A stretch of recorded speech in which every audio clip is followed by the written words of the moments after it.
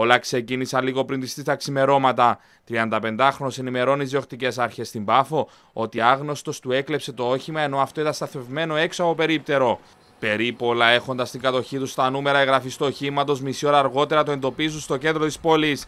Το ανακόπτουν και διαπιστώνουν πως στο τιμόνι βρίσκεται ένας 27χρονο. Μετά από εξετάσεις στο όχημα εντοπίζονται διάφορα αντικείμενα ανάμεσα στα οποία χρυσαφικά και τάπλετ, τα οποία αποτελούσαν προϊόν κλοπής. Εντός του οχήματος εντοπίστηκε και μια πιστοτική κάρτα με τα στοιχεία γυναίκας.